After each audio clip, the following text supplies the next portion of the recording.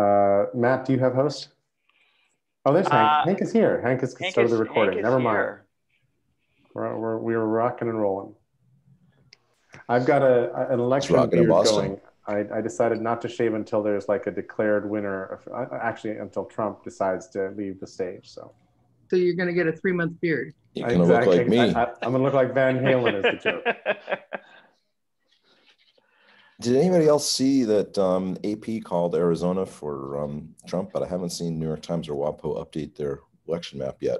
I saw I that saw the that number had bounced morning. up, but I didn't go dig on which state it was that it happened. But I think it was Arizona. So that, I think that's Yeah. that is true. The AP's claiming they're at Trump's at uh, excuse me that Biden's at 290 and Trump's at 217, but neither WAPO or New York Times has updated that yet. So just curious if anybody knows what's going on. Yeah. it's rigged. That's okay. The the Pentagon's been taken care of, so you know the the soldiers are in place. Do you um did did I I heard a, the other news story though that the reason why um, there was the mass firings of um, you know was um, was because people were arguing about um, releasing confidential documents on about the kind of Russia. Um, and our people were saying, you know, kind of the, the more sensible people were saying, guys, we don't want to, we just don't want to spill this out. It's going to give away a lot of things, put our soldiers at risk, put our system at risk, and all that stuff. And and so he didn't like that, um, apparently. I'm getting. You all have seen the the riff on Untergang on the Downfall movie that involves uh, Trump and the election. No, I haven't seen that one. Do you all are are you all familiar familiar with the trope? This is from the movie Untergang, which is about uh, the la- the last day of, of Hitler in the bunker, basically. And there's a very famous scene that has now been riffed on for everything. Like, Google has announced Google Plus. What? and and um, so they've done one that's extremely good for this situation, which I will find and, and paste the link into our, our, our chat. But it's like whoever wrote the script for it was genius. Like it's very well done. I'll I'll I'll, I'll go find it. Have you all seen the Four Seasons uh, guy? There's a. I'll, I'll find that one. Talk about memes, Lauren.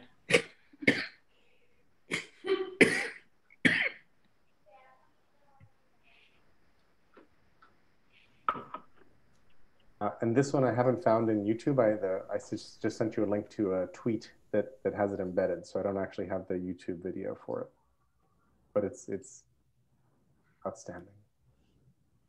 You know, Steiners äh, Steiners Angriff ist äh, uh, oh, it's nicht gelungen, I guess, is is like fabulous. Like the the whole the whole way they go through it. And if you've watched the movie and you know what's happening in you know in, in the scene, it's it's doubly interesting. Uh, so when he says everybody get out of the room except for these four people, the, the subtitle is everybody I've given COVID to leave the room. Like that's how good it is. Anyway, we're um, we're gathered here. Let's uh, do a quick round of check-in uh, and uh, then sort of see where we are. And and and Scott, I'm so curious about your insights that I, I'd love to just start with you on check-in and then go to Charles and Marc Antoine. All right. Well, um, I've been enjoying having some more conversations separately with people in this group. And one of the things I've been doing is teaching, uh, introducing simple systems thinking. Um, it's been with uh, eight and eight and 10 year olds. It's been with AI and Metacog uh, hobbyists. It's been with my daughter, who's a high school, or I'm sorry, middle school science teacher. And it's been really uh, exciting for me because it's bringing together a lot of the things that I've been working on for the past 20 years and just didn't know how they all fit. So that's kind of leads me to my, my comment, which is we talk a lot in this group about connections. We are the connectors, connecting the connectors, connecting. Da, da, da. And when I was talking with uh, Judy a couple days ago, what I realized was that Jerry's brain is a prime example of connections. It's just connection, connection, connections. But it's not as useful or fun when Jerry isn't driving it. And what's what's interesting about that is I thought, well, what is it? What's it missing? Because all the connections are there. It's the context. And so the context is what you provide as you're walking us through that. And what I realize is there's a word I haven't heard much in this group in terms of what what this is and what we do. And, and here's here's how it all came together is that we have a lot of content out in the world. We have a lot of information. But the problems with that is where there's so much volume, the information is skewed, it's manipulated, there's an overwhelm of information. Well, what's the solution to that? It has to be put into context. So if you have context, suddenly you're not overwhelmed because you know where to put this. Or if you have context, you're not subject as, as easily to the manipulation or the skew. And perhaps what we're doing and the value that we're providing is, is ways to have context around the discussions of the world and the problems that we have. So that's my big revelation that I had. And I was looking up the etymology of context and connection and context actually have this knit, weave, join root, which I thought also was appropriate for what we're doing. So that's my check-in. God, thank you. That's awesome. Uh, Matt, you wanted to jump in? I, I, I did because there's just sort of two things that I would layer on, Scott, as you were talking. And, and this came out of a conversation we were just having about um, with somebody at Phillips who is kind of junior in their knowledge management, new knowledge management div- division. And it's, I think, two things. One is context is both broad, right? The macro frames in which those connections happen, which is a lot of times how we use it. But it's also the context of the individual who is generating the knowledge, right? That knowledge is actually very personal. It's and when we when we abstract it into just a set of links and we put it into sort of these broad contextual containers, it has to be translated into the personal. Um, and so I think we have to think of context on those two levels. And then the second thing is, is knowledge is actually not um, a, a thing. It's it's a pursuit. It's a it it it lives and and knowledge actually happens through the conversation um, with other people and with your with yourself. And so I think it's not only connection in co- in context, but it's connection in context through conversation, through a pr- through the process of, of things. But I think that's a I think that's a really good insight, Scott, to you know to get to. And there's a lot of people who don't who, who don't aren't there yet. So uh, that's great and that's a really OGME topic to chew into. So I think uh, thank you for putting on the, on the table the way you did, Scott. Uh, let's go to Charles Marc Antoine, then Vincent. Thanks. Hi, everyone. Um, I love that. I just snipped that quote, Matt. Uh, connection in context through conversation. It's got a nice ring to it. Um, and um, I'm, I'm um, sort of spilling over from this other call that some of us, few of us just had around um, connecting projects and people and profiles and stuff. And I found myself um, mentioning this thing, which some people um, kind of uh, not not everyone loves the, the idea of the minimum viable ontology, but I just wanted to speak it again, um, relating to context because it's it, according to the context or the bucket or or whatever is the the thing um, in question. Then at any given moment, I, I, I see things as having um, a, a kind of ontology that will will vary and fluctuate and evolve and so forth. Um, anyway, um, as I mentioned to some of you earlier, I'm, I'm bleary from um, producing a radio show most of the night and delivering it just a short while ago. Um, excited about a lot of things, uh, OGME, Kikolabi, um, and uh, Sister Circles, a lot of interoperability actually manifesting, um, kind of reaching. And another broad thought, um, and I'll, I'll, I'll, get off the mic, is um, I, I want to embrace more and help to, to, to articulate more um, the culture of OGM, the arts, arts and culture of OGM. And I don't, have a clear thought yet what that means or could mean, should mean, what are the the paths. But I I feel that this is key to um, our muddling through this diversity um, and race question in particular, but probably a lot of other reasons as well. Over. Thank you, Charles. Um, Marc Antoine, Vincent, Pete.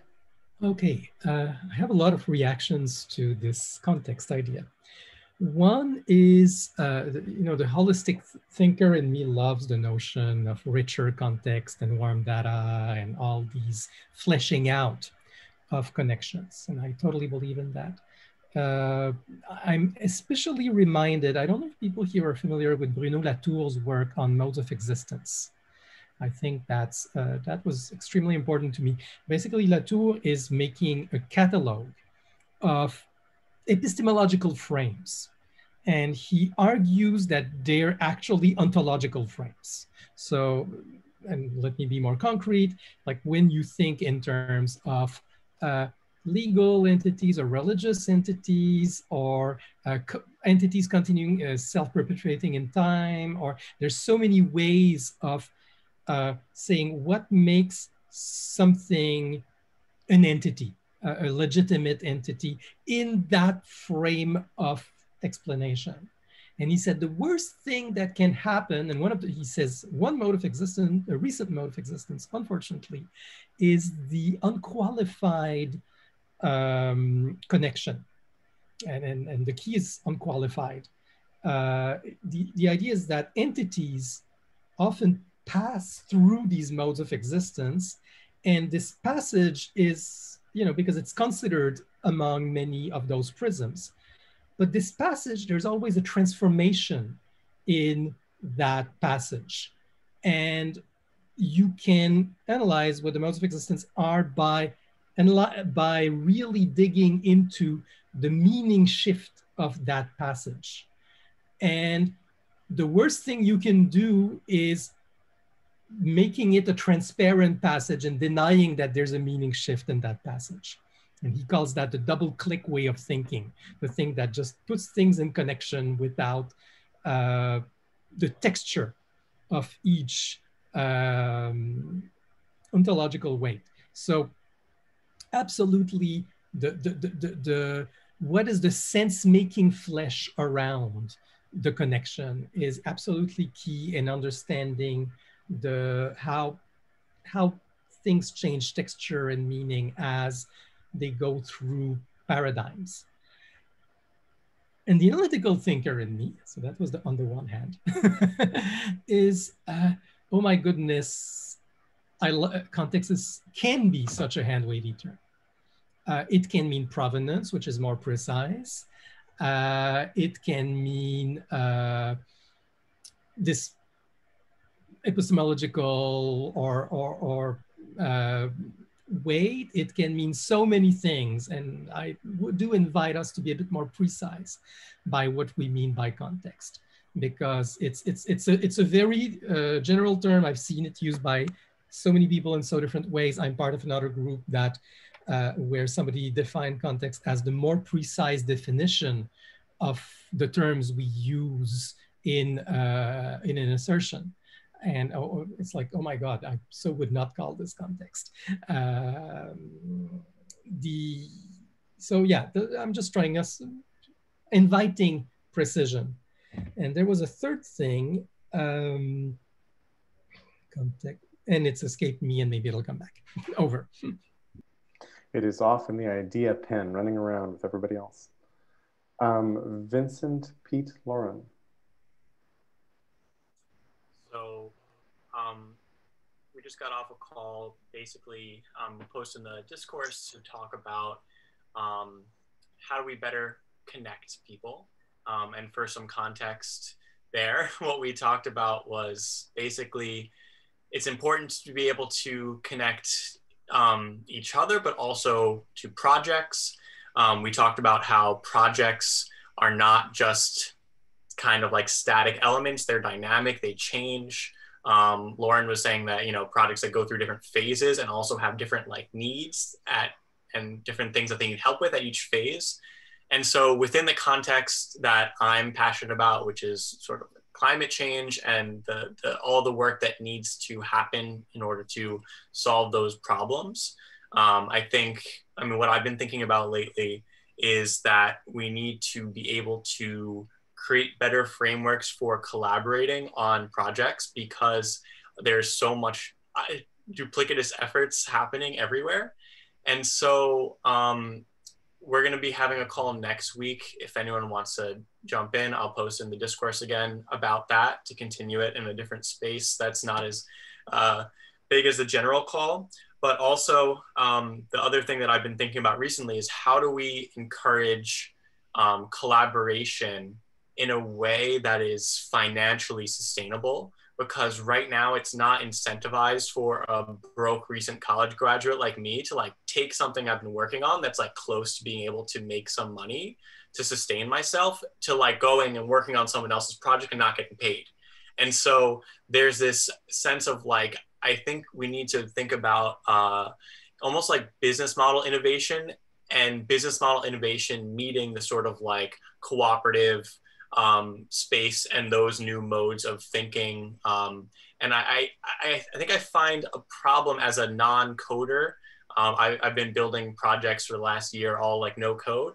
And there's like all this hype about open source, but I, I feel like open sourcing is a little bit like, it doesn't solve the problems of the sort of like game A predatory market practices. And there needs to be some way to like work within like a commons and a cooperative but have like some protection over what that commons has built to be able to have the financial sustainability to like enable the collaboration. Thank you vincent. You reminded me of a story from long ago from a friend tom Munnecke, who helped develop uh, vista which is the the va hospital systems is system. And he was talking about data collection. He said that like when a nurse walks into a room and sees a patient and notices that their skin tone is ashen and they're breathing a little shallowly, there's no fields in the database for that. Like there's a, there's a whole lot of subtlety of the data that uh, you know anybody who's like all about capturing all the data and sharing it out isn't going to be able to represent in those fields. And so how does how does that get become part of it as well as part of that's a different sort of angle on, on context. Uh, so let's go to Pete Lauren J morning. Just a short check-in from me. I'm thinking of the the title of an old folk song. Uh, All you need is love. That's it. Um, thank you. Uh, so uh, Lauren, Jay, then Shimon.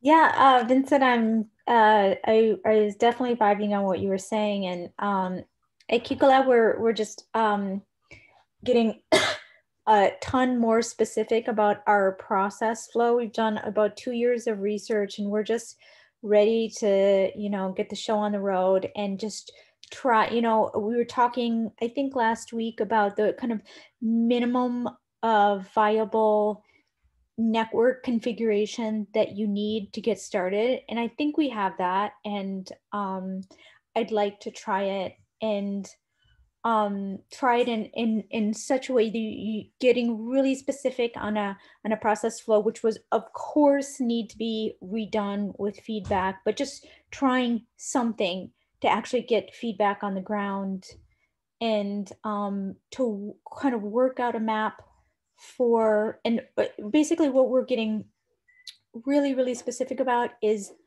uh, instead of like focusing on saving the world, we're really about saving the world savers and getting each one of us, these kind of big idea thinkers, into a uh, route to success so that we can kind of systematically um, get help on getting our ideas out of our head in a way that's actually uh, understandable to other people and um, getting help on formulating our projects in a way where we're um, getting feedback and making little things that can be tested right away instead of working for years um, in isolation.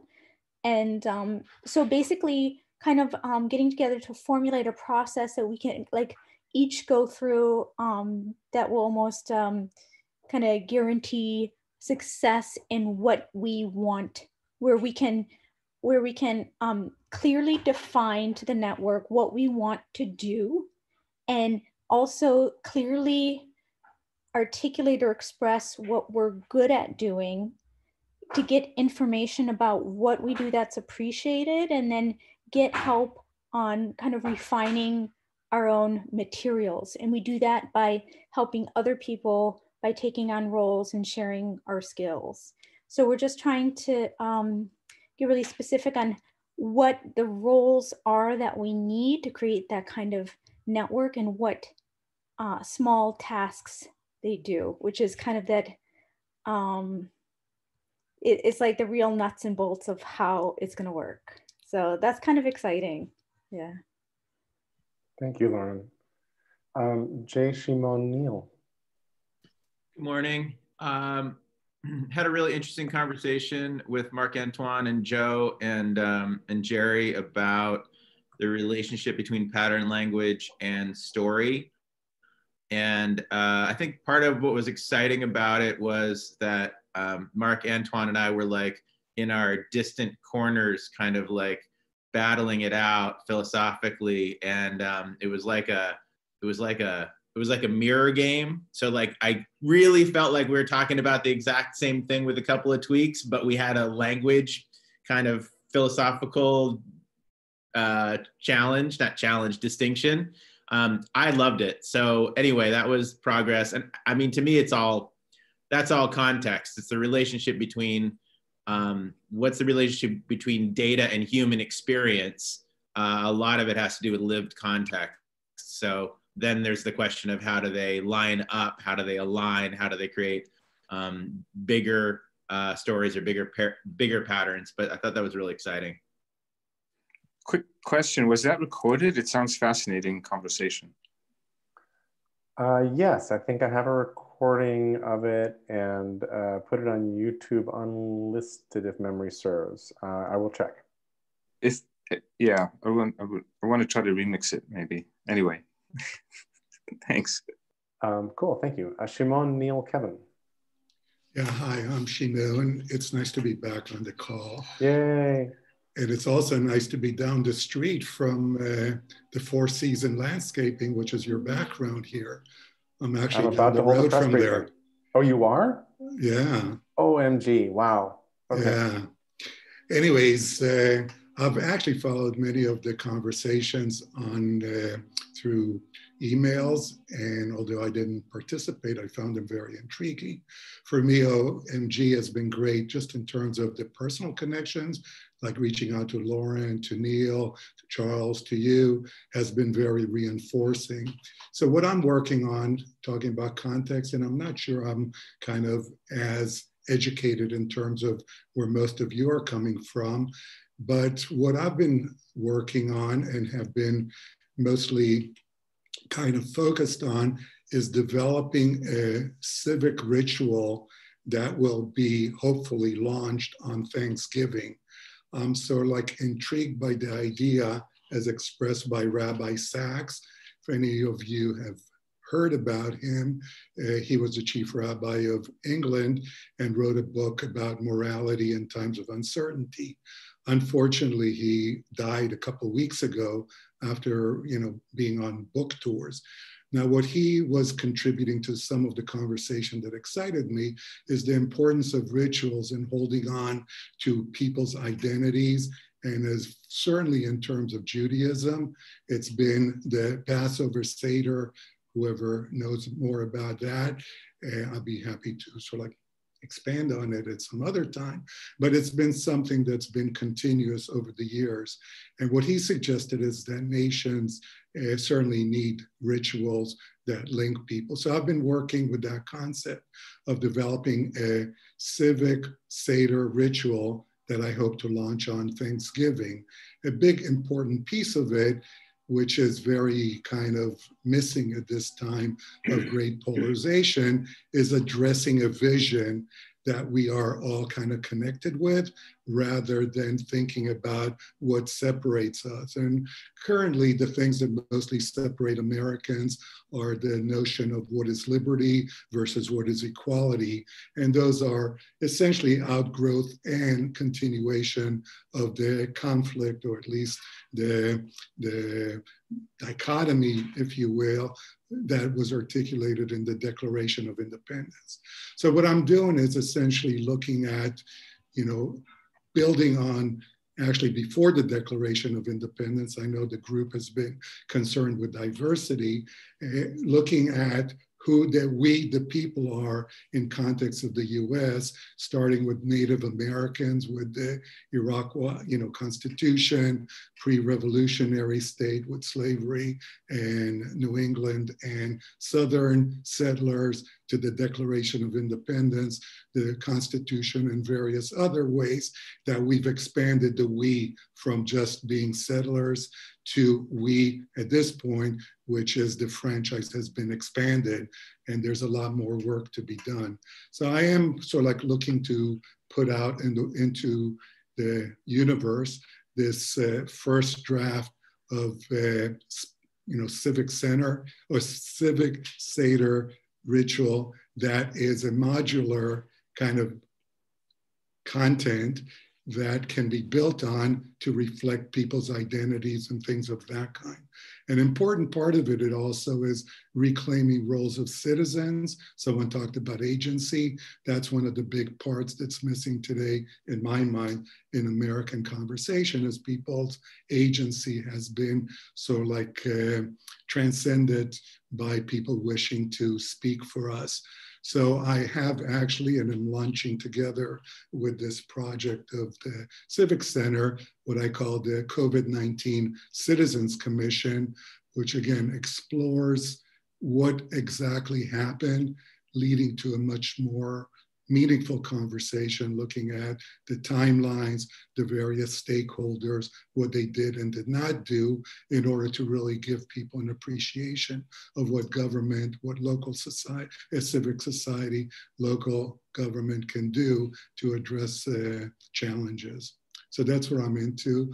I'll put a link to a couple of those, uh, you know, projects that are now in terms of the web. And if anyone wants further information, I'll be happy to address that.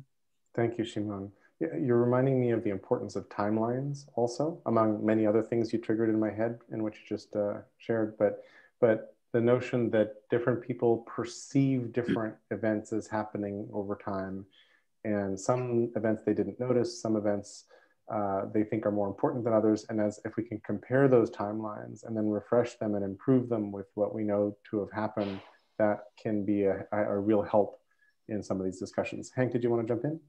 Yeah, I was just going to say, um, first, Shimon, thanks for thanks for all that. I your comment about agreeing on the definitions of like you know or or what liberty and equality mean. I think you know really resonate with me and it's, it's something that i've been thinking about too so i just kind of wanted to just throw a yes and out there you know i think that I have seen in the the reading that I've been doing is that even in situations in which people kind of agree on, you know, what they would define liberty and equality to be, and not even just that, but other other sentiment as well or concept as well, is that there's this even like on a deeper level or um, there are also disagreements on like the boundaries in which liberty and equality can operate, um, as well as differences in the way that we value the trade-offs that you make in each situation. Um, you know, given given that framework, um, and so I, I, don't know if that if that really adds anything. I'm just kind of sharing sharing uh, you know a parallel thought. I think kind of kind of that I had on it, right? So thanks. Cool. Thanks, Hank. Um, Neil, Kevin, Julian. Hi, everybody. Nice to see all my mainly uh, American friends, a few European friends. Um, thanks for giving me so many rich threads here for context. Uh, today I was listening to, I hope people here know Krista Tippett um, mm. on Being, the most recent interview. And she was interviewing a lady called, it's just coming up on my screen, Karen Murphy on The Long View. And it talks a lot about the structural uh, challenges in America at the moment. And this longer view of history and the assumptions that we all know what, what the history is and what caused these issues. So this has been resonating in my mind because a lot of the dynamics that have just been mentioned here um, by many of the players here already come back to context. And if your context is incapable of absorbing the reality around you, then you cannot make sense. And if you cannot make sense, then you cannot operate and navigate with any sense. And so part of what we're talking about here is collective meaning making with peers, where we feel comfortable enough to challenge each other uh, and to bring different things to the table, which is a mutually assistive community of people. Um, and it was mentioned that part of Jerry's role here is both strategic intervention, but also a little bit of weaving, uh, dipping into the brain.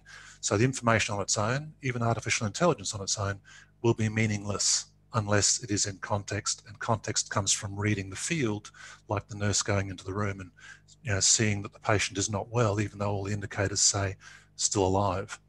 And so there are multiple roles here. Part of it is the recharge role of a mutually assistive community that i think lauren was talking about.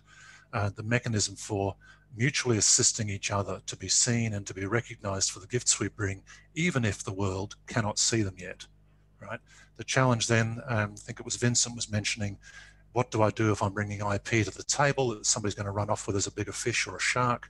Um, if I'm not fully ready and yet I want to bring myself to the world, if I don't bring myself to the world, the world's screwed. If I do bring myself to the world, I lose out. So personal gain versus collective gain. Yeah, I, I see you, brother. I'm about 25 years ahead of you by the looks of you. Um, so this, this challenge of um, how do we uh, hold space, safe space, like a healing space for those that need the mutually assistive community, like many retreats do. But then people have to go back into the field. And when they go back into the field, how do we support them there? So part of the role, I think, of uh, the uh, Open Global Mind or other groups I've been with, and this is the context from my big project I've been playing in in Europe here, is that some of these roles are pre-knowledge they're actually convening roles, they're intuitive roles where we're dancing with the system to see what pattern emerges before we bring them the context they need. And that is unseen by most people because most people think you're just interfering, intervening. However, every time I do this as a keynote listener, as a positive maverick, probing to see how the system responds in the same way a nurse would test the temperature of the patient or feel the pulse every time I do that, I get some response. If there's enough response in a room, it changes the whole social field. And the collaboration then occurs at a different level than would have occurred if I hadn't been there. It's a higher level of collaboration, same amount of energy going into a higher level outcome. And I'll leave with the, uh, the analogy of it's a challenging space because you're disrupting coherence compassionately.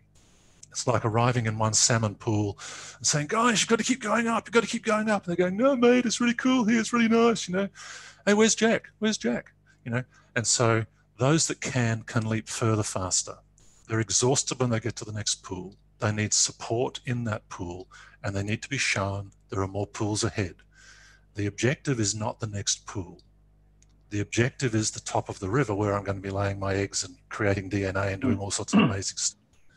But each pool is a critical step. And if we can get a vertical thread between the pools and assist people at each pool, then I think we'll have something useful. And this is the challenge that I've had in my own project this week. How do you challenge the coherence of a group that thinks they're doing it when you can see they're going to fail in a way that brings them deep systems context? There is no point in becoming more efficient and more effective at extracting value from IP if we're in the middle of a climate change collapse, if we're in the middle of social ecological collapse, and it's not assisting that process. And so, how do we hold space for that bigger context? And this is why I agree with you, Scott, but context is only visible to those who can see that context.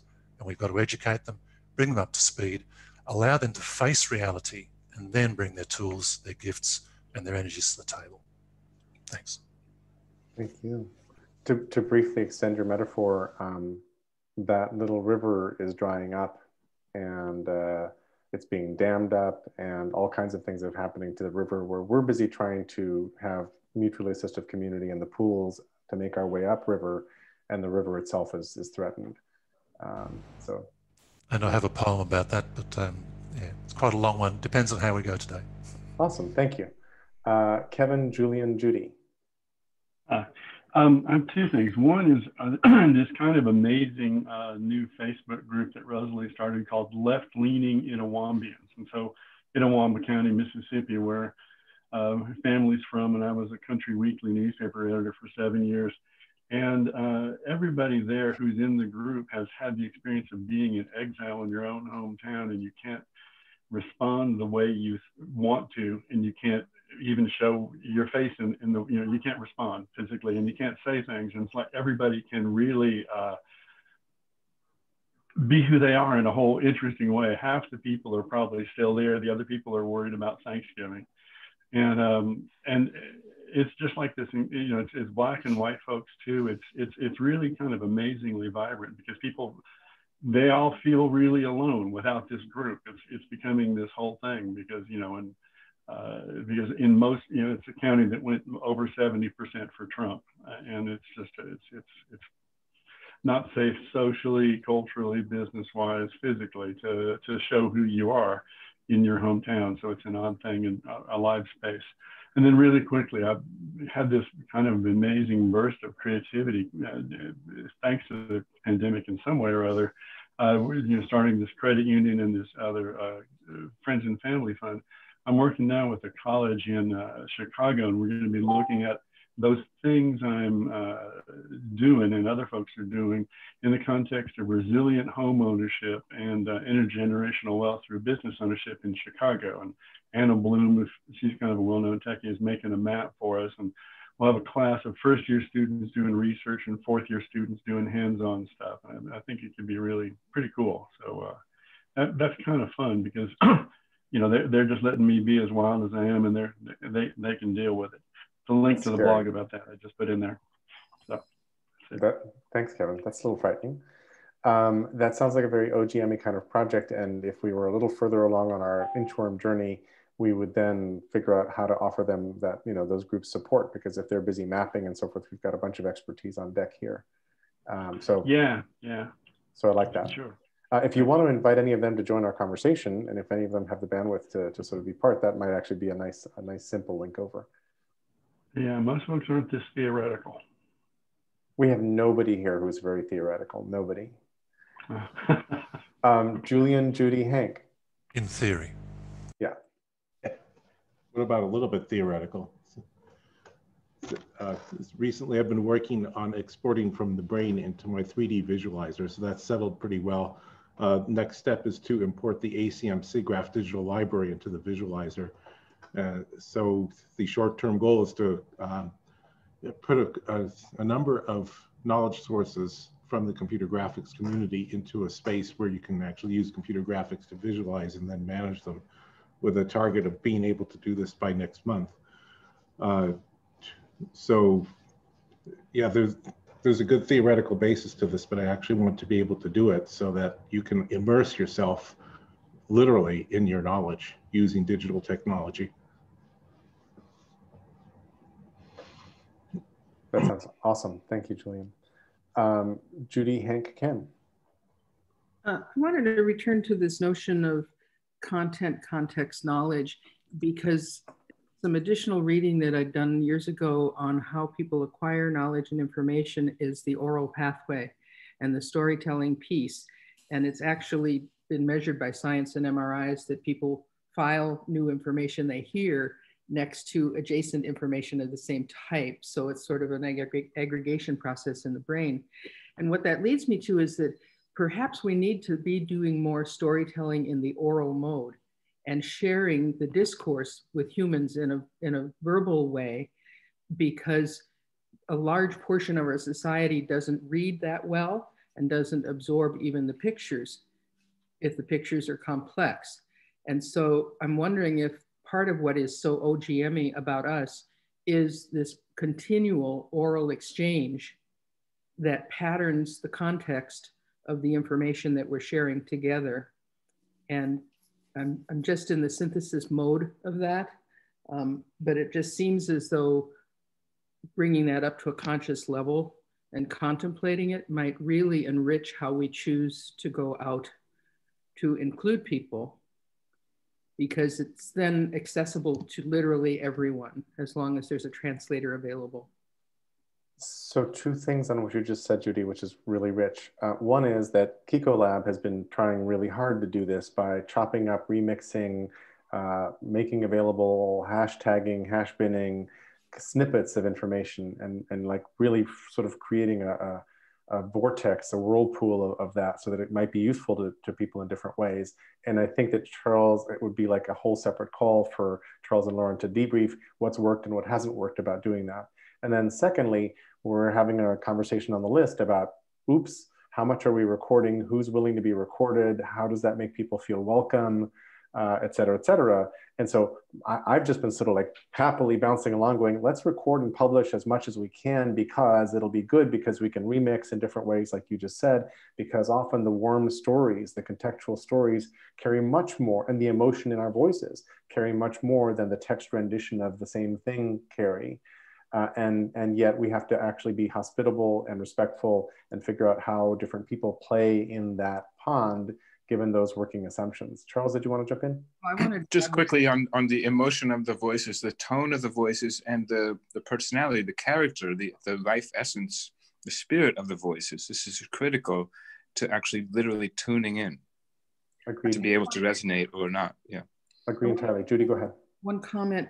I was in a, a Metacog conversation earlier this week, and Roland Legrand, who's a journalist in Belgium, uh, was explaining some experiments his newspaper is doing with communication of news in a group collective conversation mode and reaching people more effectively, as well as having it dial down the polarization because it's sort of like when you're talking to a person, you don't talk to the person the same way that you would rebut them on Facebook or some other written media.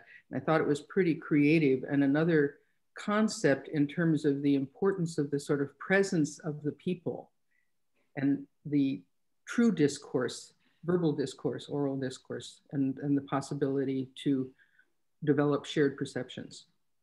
Uh, Julian, did you want to jump in? Julian, then Jay?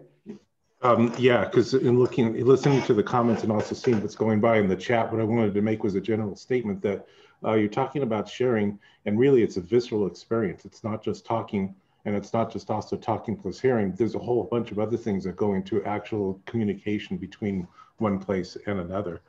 And one of the things I'm after is building these tech systems based on cognitive science so that there's actually a way to codify this, this stuff, this whole cognitive experience and put it into a system so it can be part of when we talk about a knowledge base, it's not just a whole bunch of pieces of data, but that it's something that you experience viscerally. Love that, Julian. Thank you. Jay? Yeah, I, I mean, after years and years of thinking about this, I keep coming back to audio as the best method of delivering story. Um, and there's a bunch of reasons for that. But one reason is that part of the challenge that we're having is, is the lack of human connection. And the you know when you can speak a story you can it might go into different forms but then you you live it it's in you. Even if you're reading it you live it and it's in you. And then you can share it with another person when you walk away. So that's like a big a big aspect of it that i'd like to include there's a perhaps apocryphal story of a researcher in the early days of television who, who was interviewing a, a little girl and he says which do you prefer tv or radio and she answers, uh, radio, because the pictures are better. um, so, so we have uh, Hank, Ken, and Klaus. Oh, Kevin, yeah, do you so, want to jump in? Oh, uh, you're muted, talk. Kevin. I think that this flow is what OGM is, and I think it's really helped by Zoom. This wouldn't work nearly as well on a conference call. Mm-hmm. And so it's the connections and the conversation that are here and they exist in real time. And on the, you know, on the on the threads, it gets to be, you know, guys talking too long, as, as people have pointed out uh, recently, and the site's kind of dead. So this is what is, and it's a real time experience. And the role of video in these calls is super interesting. And I'm a audio first kind of guy from way back when and yet I love seeing you all, and I love being able to see the gestures, and I love how Jazz Hands mm-hmm. works in here and so forth. So I'm I'm uh, I resonate with that a lot. Sorry, Hank, mm-hmm. go, go right ahead. Hank, then uh, Ken, Klaus, and Felix. No, you're good. I was just jazz handsing your jazz hands. um, yeah, so so I've been thinking just a lot about um, the the distinction or really the line between like listening and understanding um, and what that really means uh, or like what are the steps internally that you have to take to really try and understand something even if it's difficult um, and i think it was it was really you know brought about it, you know to to the more of the forefront of my mind even though it was already at the forefront of a lot of people's minds obviously with all this election stuff um, and I don't say that to, to demean it or dismiss stuff as superfluous, right? It's obviously, um, it's heavy and complicated, but you know, I've just found, yeah, you know, I have a lot of friends who, um, are are very on the Trump side. Um, I have a lot of friends who are very not on that side, and um, you know, one of my uh, a long time ago, I took one of those like Strengths Finder tests, and I don't put a whole ton of stock in in like you know in them a lot, but one of my top strengths was like was harmony. Um, and I've been thinking a lot about that and like how I bring myself into those conversations, um, and how can I really drive harmony if it can be driven, and and um, and even if it can't, what's a place for me to to be that's like true true to myself. And it was really just, you know, how do I sit in this space that makes me deeply uncomfortable, but also seek to like really feel and understand where these other people are at. So, um, you know, versus just sitting and listening to the things that they're saying. Um, and so I, have just been really been sitting with that a lot. And I wouldn't even say that I'm at the synthesis stage of that. I'm really just in a constant loop of, of reflection almost there. Um, so that's where I'm at. Awesome. Thank you, Hank. Mm-hmm. Uh, Ken Klaus Felix. Hello, everybody. Um, I'm having a very OGME week. I started off on Monday with Lauren and Charles in the Kiko Lab. On Tuesday, I had the Team One meeting. On uh, Wednesday, Pete and I talked for almost two hours. Today, I'm on here, and tomorrow, I'm talking to Hank. So I think OGM has basically taken over my life, which is uh, not such a bad thing. And that's all I really need to, really need to say today. Thank you. That, that's yeah. very pleasing in some strange, twisted way. Um, Klaus, Felix, and Doug. Yeah, I mean, really interesting conversation, and and I I really uh, enjoyed the exchanges. Maybe enjoyed is the wrong word, but the uh, thoughts that we're going back and forth about race and racism. Because having been born and raised in Germany, I obviously have uh, now a different relationship to that information, but um, the United States obviously has you know, a very complicated, unresolved history, which is not being taught in the schools. I mean, the average American has no idea what, what we were talking about here. So it is fascinating. Whereas I was growing up in an environment where all we talked about was that you know, to to uh, to come to terms with what in the world happened here, you know, and how could this possibly have happened. But anyway, Judy made a comment uh, that really intrigued me, referring to TikTok videos. And so I did uh, uh, uh, dig into this a little bit. My son sent me the link to a webinar that was um, uh, comparing TikTok with Instagram Reel. They just launched Instagram Reels in August. Um, and it's interesting to see how the how the demographics between those two are different. TikTok is age group 16 to 24. I call that the Greta Thunberg generation. Um, and in, in fact, uh, the Europeans are, are, fully exploiting that that uh, aspect of uh, of TikTok. And then Reels is more towards the millennials. You know, so when you look at the demographics, they showed statistics as to what the viewership looks like and so on so that was that was uh, interesting to see those tools.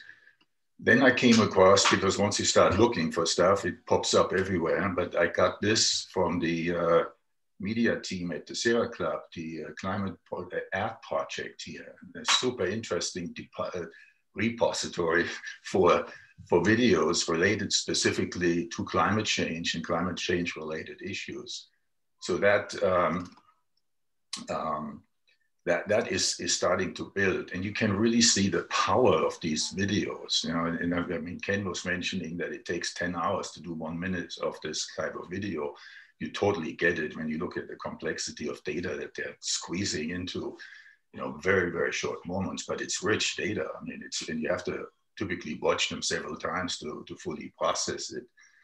And then, um, I mean, I'm working with a team that's that's linked to the European group uh, Four per Thousand organization that was founded by the French during the Paris uh, uh, uh Accord. Um, and they're completely focused on soil restoration. Uh, so everything, and so when you start as the highest objective soil, then from there you go into all kinds of uh, ways of restoring soil back to health. And so, so their thing is four, if we can put in four per thousand parts of organic matter into soil, we can basically neutralize the, uh, the output, I mean, the, the uh, pollution output of humanity you know, uh, per year. And that then, so, so, so that, that has morphed now into uh, uh, we need to engage the public right so so the so i'm working with the Sierra club to launch something in in a big campaign in january uh, also with business climate leaders and then you go, go the Europeans here. I just posted the EAT Forum uh, group here. The Europeans are going out totally, you know, to uh, to to roll in the, the public and uh, and start talking specifically to uh, people of here's what this is and and uh, why, why you need to engage. So you can see that uh, you can see how, how this is sort of merging. You know, in the United States, uh, there is no government involvement. Obviously, if anything, government is working against you. The Europeans don't have that issue. Even Britain, United Kingdom, is big time into into uh, restoring the agricultural system, diversifying it. You know, small is beautiful uh, kind of message. So it's encouraging to see all that, and I think. Uh, right now, there's enormous uh, uh, back and forth. I mean, I'm constantly in, engaged uh, because uh, Biden is in the process of selecting cap- his cabinet, and you know, we want to know who are you going to put into the Department of Agriculture. Obviously, know, that's the, the, the big one. So there, there is there is a lot of really positive energy, you know, in there. So you, you observe all this turmoil going on there, but then you say, okay, we'll, we'll cut through it now. We'll just uh, uh, be hopeful about this and see how that works out. So anyhow, it's good, but uh, there is just a whole lot of work ahead of us. Thank you for putting such fertile soil into our conversation, Klaus. That was really, uh, uh, we have comments here from Judy and Kevin. Go ahead, Judy. Oh, I was just thinking that, that part of what we're talking about here is multiple dimensions because we have the knowledge dimension, which is not the same as the understanding or shared understanding dimension. And as we work our way through the OGMiness of what we're trying to be and do, it seems to me that it means we have to have a layered understanding of how we reach shared views on things in order to be able to collaborate effectively and that, that that's part of the the conversation, and I'll use that word specifically instead of dialogue, um, because I think it's the conversation that helps personalize and bring together the thoughts of individuals. Thanks, Judy. Kevin, did you put your hand down or did you want to jump in? Uh, you're muted, but it sounds like you just put your hand down. Yeah, and I already said what I Rockin'. And I wanted to add something to what Klaus said, which is I've been doing a lot of thinking recently because it appears that Trump has been deposed. Uh, I've, I've, been thinking about how societies deal with collective trauma. And there was a lot of really interesting chat right now about that after I posted that. Uh, but I watched, uh, New York Times has these op docs, and I watched one about Argentina, uh, about escraches.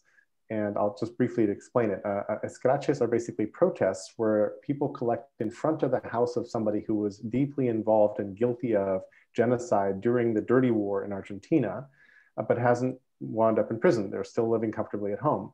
So they don't do violence. They just scream and shout and paint the sidewalk and throw red paint on their, on their apartment or home to mark this place as a guilty place and to tell the neighbors that they're living right next to somebody who committed atrocities, who is not paying for their crime in any way. And this has woken Argentina up to prosecute these people and so forth. And but but Argentina did go through a truth and reconciliation process way back in the 90s. Uh, so I'm wondering what I, I, don't know the connection between the escraches now. And the etymology of escraches is really cool. Uh, you know the scratch lotto cards? So an escrach is lunfardo, which is this really interesting sort of Buenos Aires slang. An escrach is, is a lunfardo for a con, a con game. So they're calling these movements escraches because it sort of links back to, to these people are conning us into staying alive. Anyway, um, Germany, I think, is, is a role model in how to process history and stay with it. Japan is the opposite. Japanese children apparently don't learn about Japan's role in World War II in school at all, not taught.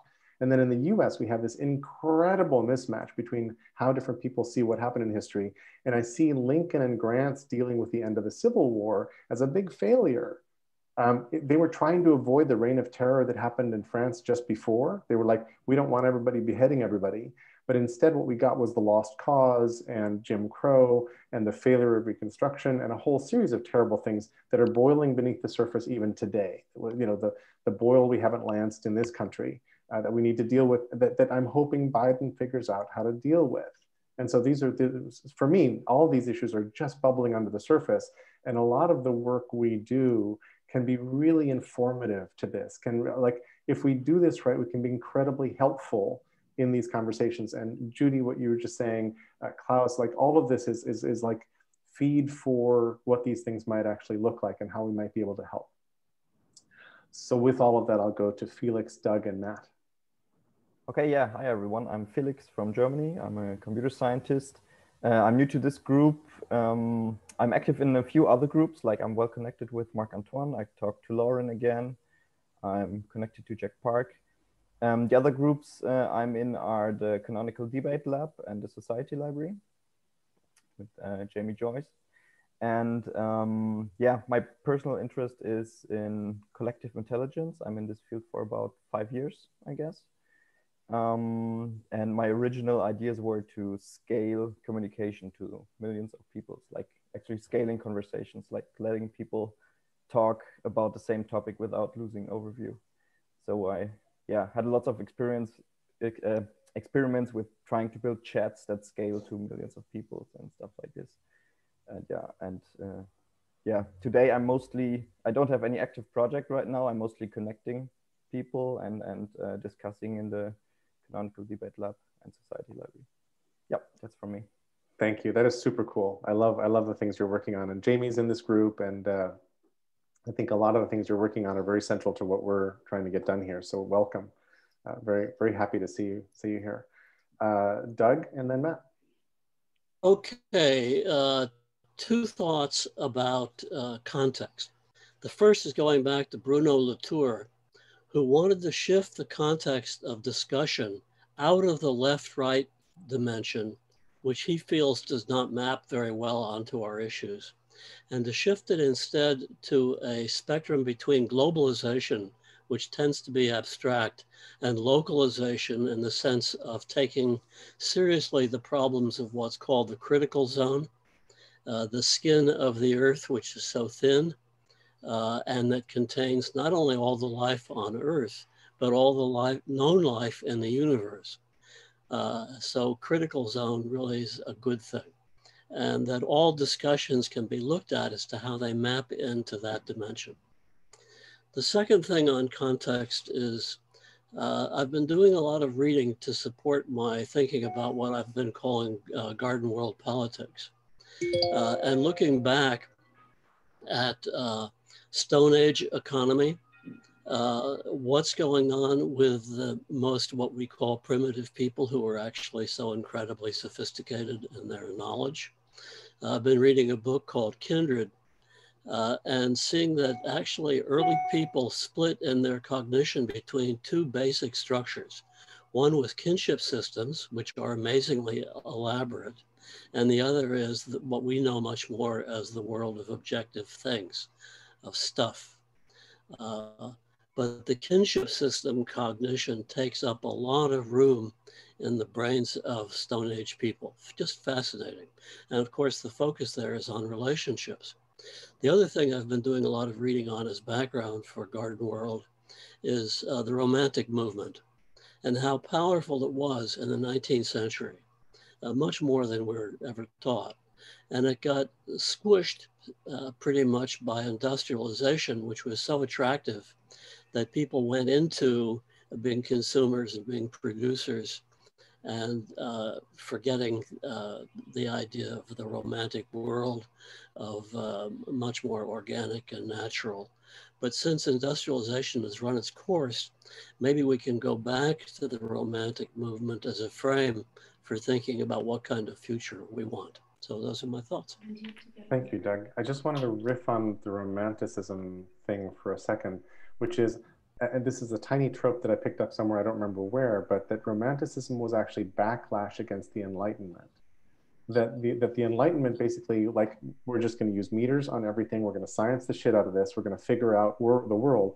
And then really bad things happen that disillusion everybody. And romanticism is a way of saying, let's just go back to nature and realize the beauty of everything and, and, and so forth. Um, and, and so, so partly that brings up the question for me, how, how do we balance data, facts, research, you know, like actually sciencing uh, our way out of uh, some of our problems with a deeper spiritual appreciation of who we are together in the critical zone of earth, et cetera, et cetera. I mean, I think, I think that that, that balance or that polarity, managing that polarity is super important.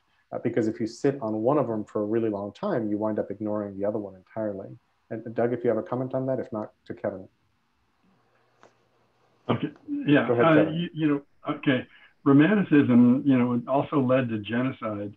you know, like when uh, Ansel Adams wanted a pristine wilderness uh, in Yosemite, they evicted the Miwok because they couldn't have any people there.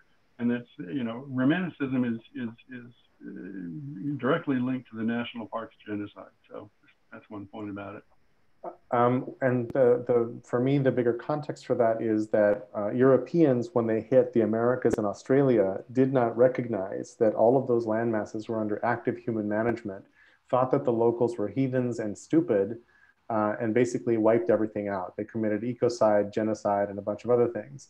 Uh, and and the Miwok is one of the you know one of those victim groups. But what we ended up with, I hate wildlife preserves that have no humans in them because my own belief is that humans who know what they're doing, a very important qualification, are really good for the landscape. Right? So I don't like areas where humans have been roped off the landscape. I would love for humans who know what they're doing to be able to go live back in the in these places and take care of them, and we'd probably have fewer forest fires, et cetera, et cetera. Marc Antoine on romanticism, it's it's. I, I said it quickly uh, in the chat, but I want to elaborate. Both romanticism and uh, not enlightenment, but the, the rational uh, rationalism or positivism were co-opted by power dynamics, and I don't think either of them is good or bad. They're uh, kind of psychic uh, extremes like Apollonian Dionysian, if you follow Nietzsche, uh, and, and, both are and both as extremes are problematic. And uh, yes, there is this notion of balancing them, but what I think is even more important is recognizing how these uh, they're both following a discourse that allows to exclude point of views. They're both saying, like romanticism is saying, you know, trust your inner uh, animus, and uh, the rationalism or positivism is saying only trust rationality. And it's a way of pushing aside another point of view and pushing aside a discourse. And that is always the problem. And then it becomes co opted by people who use that as a path to power. Uh, so let's see what is good in both of them because I think they're both important intuitions, but we have to go beyond both, absolutely, or, or any one viewpoint. I love that, Marc Antoine. Thank you. Uh, Neil, Jay, then back to Matt. Just to pick up on the Aboriginal uh, issue, uh, James Cook, who sailed up the east coast of Australia in 1770, um, was under instructions to make agreements with the natives that he might encounter. Uh, and his logbooks and those of his botanist and others on board show that they knew they were dealing with intelligent people. Uh, Matthew Flinders, the, um, the person who uh, explored Moreton Island, described the, the Nui, N-G-U-G-I people, as the healthiest people he'd see, healthiest and happiest people he'd seen anywhere on the planet. So this was a deliberate governance step to prevent uh, the uh, resources that they so urgently wanted. This was a step that was based on colonialism, not on recognition of intelligence or humanity. Um, they knew there were people there. And so this is one of the cultural underpinnings of the colonization ethic on which America is founded. And I saw recently somebody posted uh, the digitization of the native treaties, something like 360 native treaties in America, which have been completely ignored by white settlers. Um, and this is part of the stuff that's coming up in the conversations that around the grief, the trauma, the genocide. Um, when we can get past our whiteness, when we can get past this assumption that we are better than those we are imposing our destructive criminal uh, uh, capitalist system on, then we might get closer to recognizing we are also all humans. When we get to that stage, we will also recognize we are nature and we live in linked social ecological systems. And that those people that we have often and too often looked down on as primitive were much closer to deep indigenous connection, deep indigenous wisdom, systems thinking, keep the whole system alive thinking. That isn't going to happen from a position of white superiority or assumption that we're doing it right or blindness to the reality. And so I just wanted to bring those elements in because it's the history of what uh, I've, I've experienced in Australia and the slow coming out now of Indigenous people struggling back against the genocides, attempted genocides that happened there. I'm now in Europe and there's the similar issue uh, here in Europe that even with big projects, they're talking about how do we get cultural cohesion. Um, haven't even healed the rifts of the past yet, right? Let alone how are we going to not crack on those same lines given what we know is in the pipeline. And this is what I was ranting about last week, so forgive me. uh, no need for forgiveness whatsoever. This is fascinating. Thank you. Jay, then Ken, then Matt. Thank you, Neil, so much. Um, feels a little left field, but I've been doing my best to uh, cultivate and continue to cultivate the um, respect for and interconnectivity with nature as a healing mechanism on um, uh, on our trails, which are really nearby. So we live um, in a rural part of Southern Oregon, a, a, a, small town in Southern Oregon, but at the edge. And I'm on trails uh, every day. And so what I've decided is that if I stay away from people, if I have 10, 15 feet distance, then I don't have to wear a mask. So this is a controversial topic. Um, but what happens is most most people on the trail are not wearing a mask. But what happens is no matter how far away I am from them, as they approach the kind of 30 foot zone, they'll put on their mask. And I'm like really kind of contrarian about this. Um, and I, I might have to give it up, but like I feel like if I step to the side, I am being a part of this earth and there's no science that says if I'm 20 feet away and being in the trees, that then I am at risk at, at any way. And I've looked all around and welcome anybody to say that, uh, to share that. But my, I bring this up because it's not science. It's not science that says put on a mask. It's social indication when you're in that zone. And I think this is part of the conflict that we're, we're hitting um, in a political way that um, is saying, no, wear it all the time. And what I'm saying is, I'm trying to be a part of the earth and I'm bumping up against this considerably. And I think a lot of people don't have that same approach, but they're, if we're if we're not using it as science, then then how are we using it? So it's a I know it's a whole ball of gong, but I wanted to throw it in. Um, thanks, Jay. Um, let's let's go. Just so I, I I would be happy to jump in on that as well, but let's go to Kim then to Matt. So um, there's been some mention of spiral dynamics in the chat, and I'm thinking of a book called Tribal Leadership, which actually is a wonderful introduction to spiral dynamics uh, without it being so um, academic. And uh, one of the things they point out is that um, no matter where you are, uh, people, if you if you survey them, if you if you if you uh, have them take an assessment to figure out where they are in the in the in the levels, they always think they're uh, two stages above where they are and you can't move somebody more than one stage at a time. So what I love about uh, tribal leadership is they sum it up as uh, there, there's a really quick way of, of noting all the levels. So the first level is life sucks, and that's um, you know life is hard, and if you get in the way and you get killed, that's just too bad. And those are people who exist as individuals, and um, so they're kind of off on their own. And the second level is my life sucks. I recognize other people have good lives, but I can't seem to get it together. So, from a, a, networking diagram, those are people who are now inside of a network, but they're not connected to anybody. And the third level is um, I'm great and you're not. And they give the illustration of three doctors who get on an elevator, and the first one says, Did you read my article in JAMA? The next one goes, No, while you were writing your article in JAMA, I was teaching the next generation of, of doctors, you know. And the third one says something else. And they all walk off the elevator feeling like they're really great, but all they've done is put each other down. And then at some point, they recognize they're all cogs in the same system.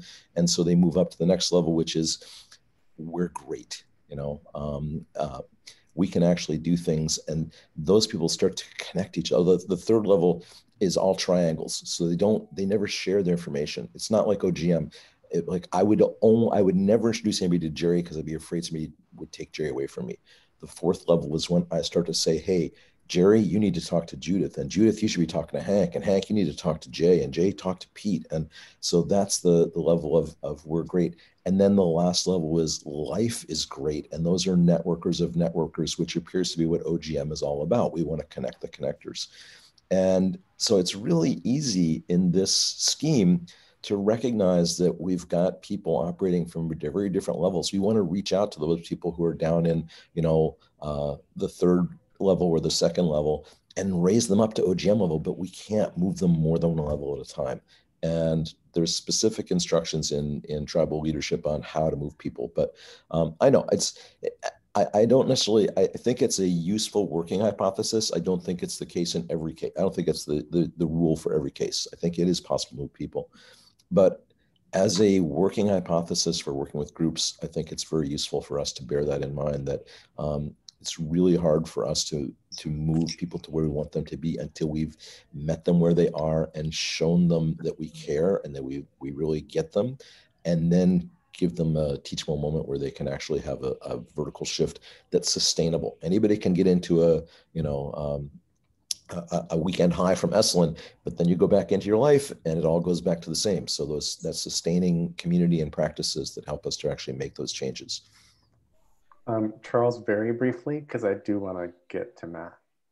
Just super briefly. Um, to put a, a, layer or a dimension in here um, of collapse. And I actually am one of those that feel that life is great and I'm an eternal optimist and um, kind of blissfully, naively so. But um, there are those that are convinced of, of um, collapse that's already happening, that's impending, the, the onrushing, and so forth. Um, just very quickly, there's um, slight update on the Tom Atlee um, related project around wise adaptation or, or transition design. Um, I've just been told that they're kind of getting back into gear with Michael Dowd, the, um, the evolutionary um, evangelist, I guess and um, Martin Rausch here in Switzerland. Anyway, it's a pattern language around this stuff, and um, they're going hard, hardcore in regard to the embrace of collapse. Over. Thank you, Charles. Uh, Matt, we got we got so little conversation going on here. It's it's up to you to fill the room with something interesting.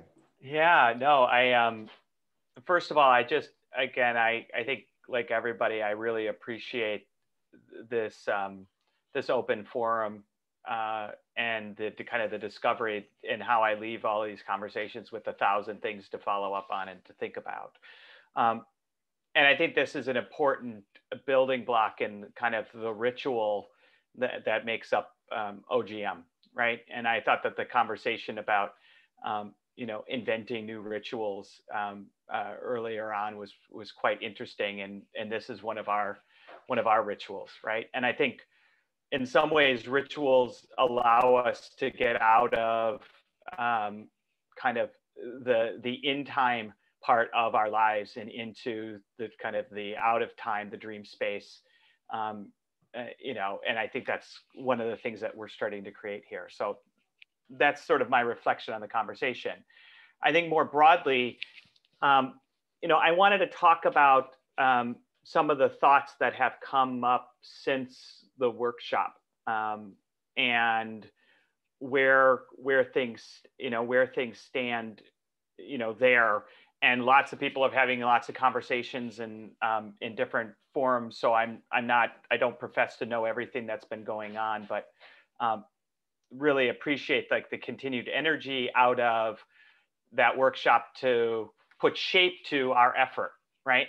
Um, and to to move things. And so I think Doug, this came from some of your language, um, this idea of quests and questing, um, and um, and maybe one of the things that we can talk about um, are what are the quests that we want to take as um, as as a group? Or what are the quests that we're we are taking? Just to catalog that because i think we're all on these different um, exciting time kind of time bound projects that um, you know have have something that we want to discover out of them and through the process we're going to run into trials and tribulations and actually discover something different than we thought we were going to discover so you know, one one way to think about OGM is a set of quests that happen in the real world, right? Where we're meeting people where they're at, or you know, Klaus, um, you know, a quest around um, soil fertility. I think, um, you know, Lauren, you mentioned this idea of a quest of of how do you, you know, how do we, um, you know, support those the change makers and and save the save the saviors and help them, right? We talked about the narrative of of the of the salmon in the stream and giving giving them that structure. And so those things could be kind of quests of OGM. Um, I think other organizations are um, are on their own journeys, their own quests, um, and we need to continue to expand and catalog who are our members and how we create membership, this network, but who are our partners that we work with. I see Collective Next as a partner organization. I'm sure um, Kiko Lab sees um, themselves as a kind of a partner organization, right? So who are the partners, and then where are our neighboring communities, right? These other, you know, these other populations, and so if we have a structure around quests, we also have a structure around continuing to to build out and grow the network. Um, I think those are two really interesting areas that we could work on, and then I think behind the scenes we need to we need to launch our lab in a more in a more serious way. And I I kind of think about like if you know people are out on these quests, you're going to run into things that you're um, that are going to surprise us, and we're going to need to go and find um, not uh, the Q from QAnon, but the Q from James Bond. You're going to need you're going to need the Batcave. You're going to need you know people in the lab who are thinking about you know the software, the hardware, and when I say software, it's not just computer software, but it's also the software of how to have conversations, how to have dialogue. It's the practice stuff, um, Lauren, that I think you were referencing, right, in in your, you know, your piece, right? Um, it's the it's the methods and the hows and the stuff that we can use in our quests, and our quest should define the problem sets that we then need our lab to help us, you know, build out. And then I think we need um, a nerve center that is working on kind of nervous system is probably the better word versus like the nerve a nerve center like a, like a spider brain more of like what is the nervous system that allows for this network to be healthy to be governed the business models and things of that nature um, and then i and then i'm imagining that all of that has to sit within um, a kind of a uh, a system of intention, right? Um, I think Neil, you were talking about, you know, a system of ethics, right? Um, we've talked about it as a maybe a kind of a manifesto of intention, or you know, our own version of some sort of constitution or Magna Carta or whatever that is. But we need to we need to author that together, um, and I think that becomes then our, you know, our basis for having kind of this nervous system with the labs, with the quests and a network. And that becomes kind of our, you know, our um, superorganism. And then that way, Kevin, when you're working on your projects, um, they don't just come into here as, oh, that's nice that Kevin's working on that. They come into this place as, I've run into this problem and I need help, or I need knowledge, or I need conversation, I need this to move some things forward. And we start to amplify each other's individual efforts and and become kind of organized around where where the need is because it's going to be scale um, that we have to get to versus just all these little micro experiments like every you know people are doing these things now and the reality is is we need to be able to to move a lot faster with the with the kind of collapse that i think we're all predicting. So that's my piece. I don't know if it resonates with people if it starts to bring things together but i'm i'm excited for the the next steps here. That makes sense. I gotta go well good close that deal Thanks. Um, anybody comments, Klaus? Yes, I'm yet, Matt. Um, I, I, posted um, in earlier in the chat. It would be cool. I don't know if this has been done before um, to have like a the same way we have this reoccurring meeting to talk about um, OGM just openly. Like have a weekly meeting that's um, like a a roundtable mastermind group where like each person prevent like says like this is the thing I need. This is where I am in a minute, and then either during that hour like splits out into different groups to help each other or um, or kind of sets up a time. Like each person has like one hour of their week that they dedicate to someone else's project and then they get help for one hour. Yeah and i think vincent along those lines and i know i see a lauren um, along those lines is i think this is where the questing infrastructure has to be put in place right so if people are out on those things, they may we need may need a way of people sort of saying, here's what I'm working with, here's what I need, here's how we organize, you know, here's how people sign up for those things. Um, and I so I think we have to build that, and and that's one of those operating rhythms. Um, and maybe what we do is there's three meetings. There's this meeting, which is where we we converse and commune, right? Which I think is beautiful, and we need it we um, we have a standing Tuesday meeting. Um, you know that Jerry and I and Hamilton and Hank have been you know kind of doing since the very beginning. That was actually our original meeting around how are we going to get this ball rolling. I think we should open that up, and that meeting should be about actually the kind of the nervous system, the governance, the business model, like like those building blocks and the organization of us.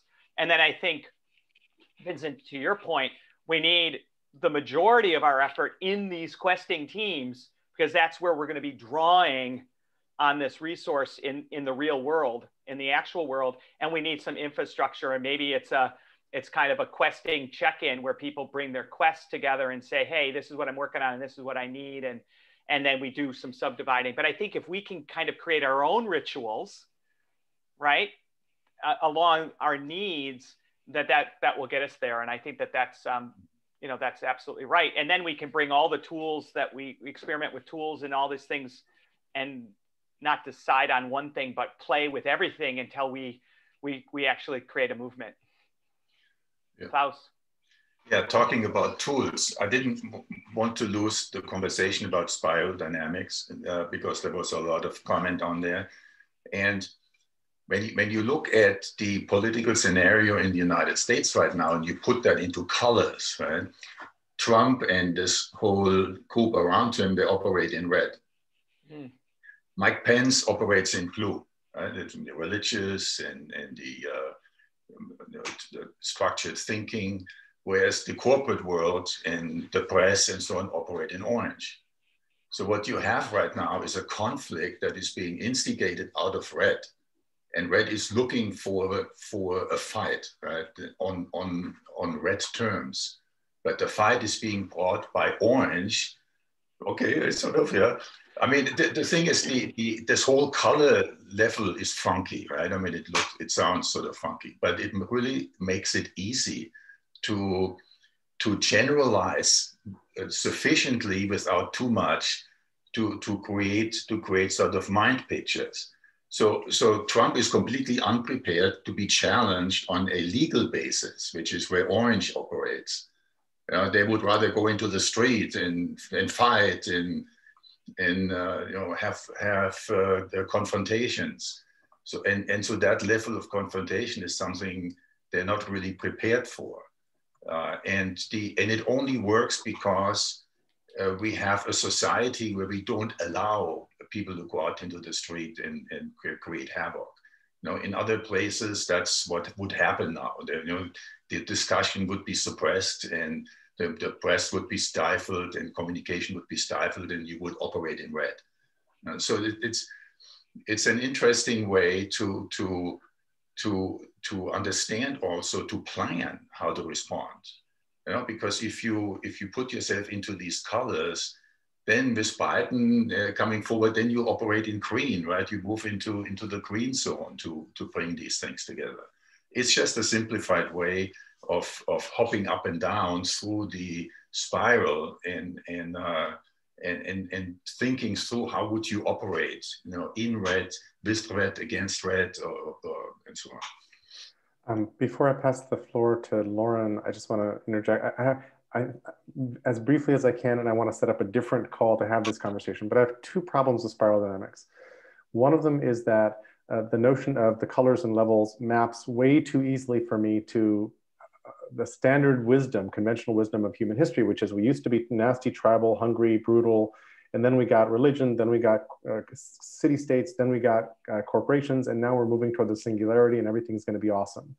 And, and I have a completely different notion of history, which is a really long time ago, we used to understand how to live together in community on the commons, and then we've been fighting that and destroying it ever since. And so to me, tribal from way back when, I respect deeply, and I don't think that tribal is red or anything like that. Um, and so the second problem I have with spiral dynamics is that it's, it creates the situation where you have the condescending framing of let's see how we can get those red people up to purple. And everybody I know who loves spiral dynamics thinks they're teal.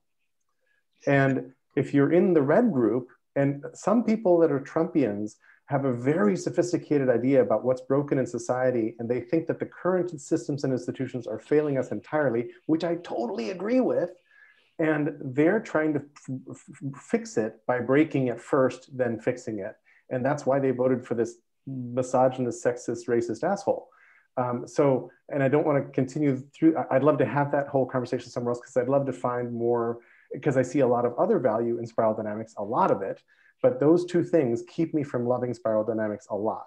And, um, and, and Jerry, sorry, just, just to jump yeah. in, I think one of our labs in you know one of the labs inside of the lab should be around mental models and we should have mental model labs and we should debate these things and we should talk about them and we should say what parts we like and what parts we don't and and do that so that's the software of ogm of our cognitive you know things and so i i think that we should we should start to define these things and then make the containers so that we can deal with them and kind of come out of the this, which I think is great, but it doesn't have enough. It doesn't have enough kind of focus to get just a little bit more traction, right? Agreed. So um, Lauren, Neil, back to Matt, and then we're out of the call. And Lauren, uh, are we done? Are you out? Okay. Uh, so Neil. Firstly, in defense of spiral dynamics, it is one way of seeing it in the same way that OGM has multiple references. Uh, the Listening Society by Hanzi Freinacht, talking about metamodernism, uh, takes it apart and puts it back together again. The Evolving uh, Self by Kegan talks about multiple levels of consciousness. Um, in Over Our Head talks about multiple levels of consciousness. This is about capability and maturity of humans and the application of any model, spiral dynamics or other, by somebody who hasn't actually understood the implications of holding that loosely and recognizing that each of us is more complex than any of us even believes or thinks and that I'm still discovering myself so you're still discovering yourself and if I think I can put a label on you you know how bold would that be? So holding this stuff loosely is what we do with intuition with art with sensing not with labeling with pointing with naming right? And so holding these mental frames as mechanisms in the background because they make sense. They do make sense. Nobody can question the sense they make. It's when they are applied out of context or in ways that aren't actually aligned with trying to create regenerative living systems that we screw them up. And so we've got to be very careful not to alienate any of the potential models because each of them is an attempt, just like OGM is, of bringing together bunch of resources in a way that makes sense of humans. We are complex living beings in complex living systems, in complex linked social ecological systems in collapse, and we're about to crack on the lines defined in there, in there, in there, and in spiral dynamics. Good luck. Your quest, should you choose to accept it. Exactly, exactly. Perhaps, but this I think tape, that's what we're here for. This tape well, will self-destruct in five seconds. Yeah, and I think Neil, and maybe just to sort of um, come back to the very beginning, uh, open, you know, global mind, open-mindedness at a global scale, right? Um, you know, models, frameworks, concepts, ideas, everything that we've learned up until this point as a species needs to be appreciated with an open mind. And then I love this idea. It's time for us to grow up, right? It's time for us to mature to the next level. Um, and that's what we're doing is we're trying, I think we're trying to um, create a movement of, of a maturation process for our species um, using everything that we've learned. And at the same time, we're trying to tackle some things that are urgent, like soil health, right? The climate change, social justice, you know, all of these things. So I, I think I think we've kind of defined our mission, um, and I'm just excited to take the next step in, in getting organized and and and allowing everyone to participate where you know where they feel great and comfortable, right? Yeah. Um, before passing it to Neil for the last word, I just want to say that this conversation is thrilling to me and is one of the reasons why describing OGM is like nailing jelly to a tree. Uh, it's like we're actually going after some of these big audacious kind of things about worldviews and understanding people and leveling up society and dealing with critical issues and you know uh, thriving instead of merely surviving and that's pretty complicated stuff. Neil, over to you in the booth. Yeah, I just want to say thank you. It's good to hear this conversation because this is what I've been trying to say for quite a long time. OGM is not one size fits all, right? And the conversations we have to have are not one size fits all. And a kitchen table conversation will go as deep as the uh, interlocutors are able to go, provided there are people prepared to take the risk to go further than they did last time, provided you can create a safe enough space to get unsafe together, right? And to me, the, the, the need to have multiple levels of narrative, not just one story, multiple levels of narrative with some sort of vertical connecting thread to higher system ethics context, which is what was mentioned at the start. If it's not in the higher systems con uh, context, why are we doing it, right? But now, what level can we operate? At what level can we operate? That's sensing. You walk into the room, is the patient dead or alive? The patient's alive, right? Well, there's still some hope, right? Next, are they breathing or are they not breathing right so how do we what is it we have to address now for that we need to have skills and some of us have different skills skills to assess skills to sense skills to identify what we think is needed. Ogm to me is dropping the stepping stones in front of people in the right order for where they're at. Now whether they come to that through their own uh, process of i need to find something and now let me let me find my own way or whether they need somebody to walk with them at the same pace and speak in the same language and point them to side tracks and you know and this is what you do jerry with with this bringing in those little snippets. It's what each of us does bringing in those little uh, side channels you know. Here's the main canyon but let's just go and explore up there and see if there's anything useful. Wow because it's much nicer and much feels much better much more belonging when you're in close to the walls right? And so we've been down multiple neural pathways but ultimately we have to align some sort of vertical coherence with multiple levels of horizontal cohesion that isn't one size fits all. It's multiple, and we have to encounter people where they're at, and we can only help them if we have actually gone further than they have, right? Otherwise, we might be collaborating with them to dig a ditch, which everybody can do, right? Provided you can move. So this is the way I see OGM. It's a resource base, it's a commons base, it's a tool base, but it's also a people base, depending on some sort of differentiated uh, capability maturity process. And it's not to put people in boxes, it's to say, don't turn me loose with the car keys. I haven't learned how to drive yet. And it's as simple as that. We have to develop ourselves and develop each other on behalf of humanity, or we're all screwed. Thank you. And I believe that is a beautiful bow for our conversation and plenty to think about. I am grateful to you all for being here. Uh, and uh, see you soon on those inner tubes. Bye, everybody. Thank you. Much love. Thanks, everybody. Take care.